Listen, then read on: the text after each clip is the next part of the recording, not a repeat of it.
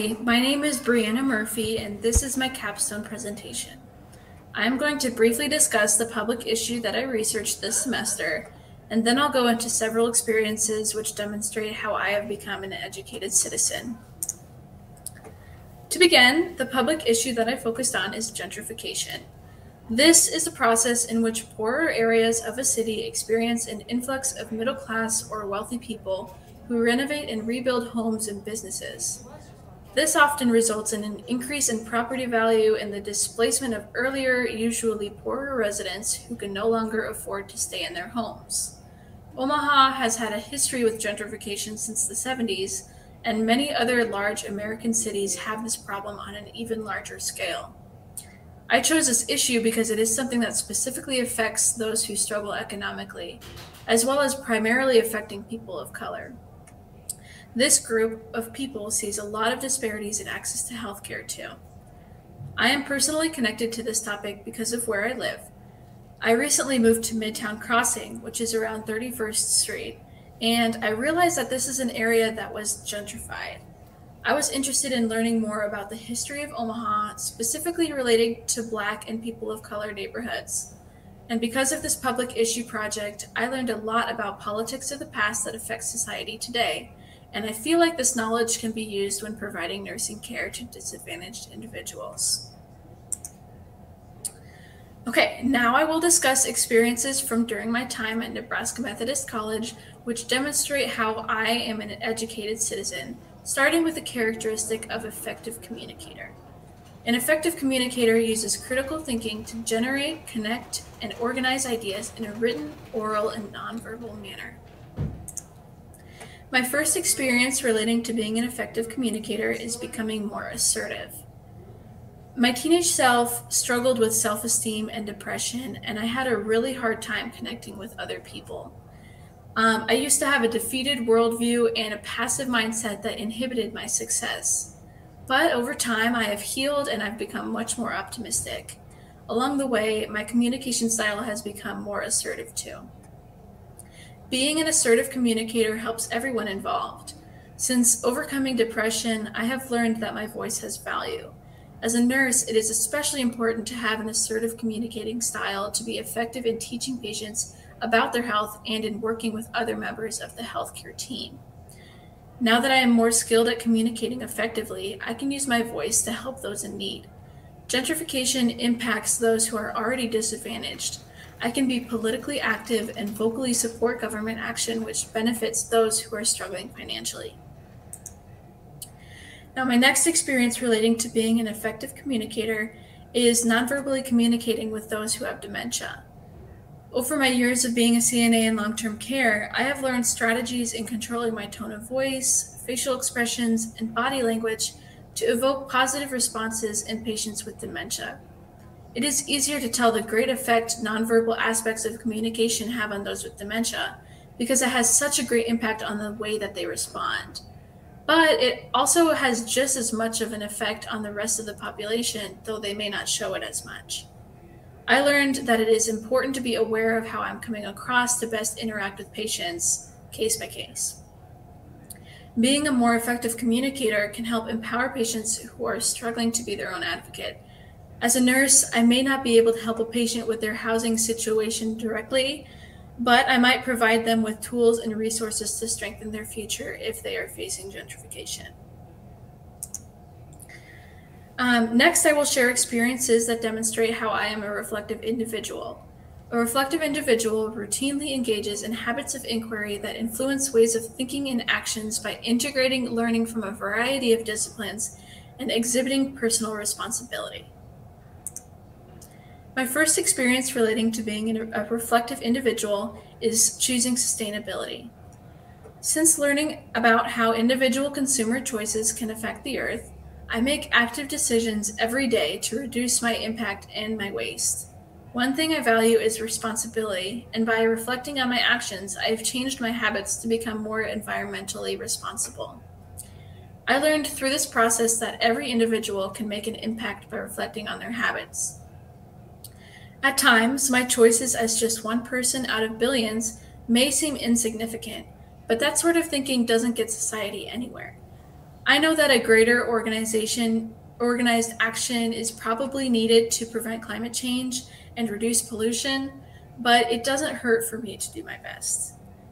My time reflecting on my own choices has shown me that no matter how insignificant my actions may seem, they do amount to something. I can apply the same reasoning to voting as well. It might seem like my vote doesn't matter, but collectively, if everyone votes, positive change can be accomplished. Every election, I vote for those who I know will support our struggling communities and give power back to the people instead of the rich. In part because of my research on gentrification and the history of Omaha, I am dedicated to improving the lives of those who need the most help. My next experience related to being a reflective individual is my shifting beliefs and values over the past couple of years. When I reflect on the person I was five years ago, I realize that even though I feel like the same person, my beliefs and my values have shifted. Instead of aligning more with my parents' conservative and Christian ideologies, I now hold closely more progressive ideals, and I no longer consider myself to be religious. I'm always striving to become a better person, and this means I invite change into my life. By expanding my education and reflecting on myself, I have changed a lot as a person, and I hope to continue changing throughout my life. I learned through this process that education and critical thinking are essential to achieving positive change. It is especially important to learn about other groups of people besides your own, as this expands your worldview and fosters empathy. I desire to promote the same growth process in others, and I learned that it is less important to spread my own beliefs and better to promote reflective and critical habits in others to help them reach their own conclusions, kind of like what I did by myself. By, re- by reflecting on the world, it empowers people to be a leader in their own life rather than simply following the values of others like I did when I was younger. I believe that supporting quality, unbi- unbiased, accessible education which promotes critical thinking is essential in creating a society that strives to be always improving. I can help enact change that helps communities experiencing gentrification by speaking out about this and encouraging others to also be reflective individuals. The last characteristic of an educated citizen is a change agent. A change agent uses the disciplines of the liberal arts and sciences to analyze historical and contemporary situations and systems, to develop a cultural competence, and to take appropriate initiative to effect change. My first experience related to being a change agent is promoting vaccinations. When the COVID 19 vaccines first became accessible to the public, I knew how important it would be for everyone to get vaccinated. Because of my nursing education, I know how they work and how safe they are. However, many people had their doubts about it and were averse to receiving the vaccine. I knew that herd immunity takes cooperation of everyone to achieve, so I really tried my best to encourage those I know to contribute. In a context such as getting vaccinated, it takes a lot of teamwork from everyone to do their part and get the vaccine. I learned that being a change agent by teaching people of the importance of vaccines is easier said than done because many people wouldn't listen. Because gentrification is such a large issue, it may take many people over a long period of time to address it. I can be a change agent by speaking up and encouraging other people to care. My next experience related to being a change agent is um, my population focused project that I completed with a group this past semester.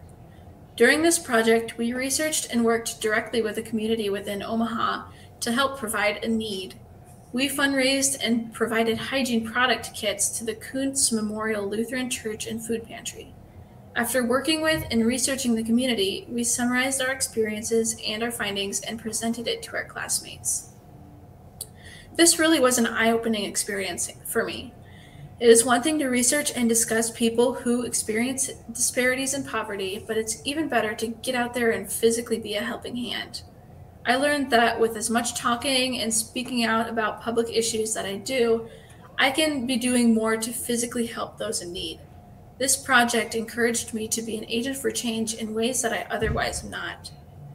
This project also showed me that being educated about public issues is important, but applying them and going out and physically enacting change myself serves an even greater good. In my public issue assignment concerning gentrification, I learned about agencies which directly work against the problem by serving the community. In addition to learning, I can be a better change agent by giving my time to help.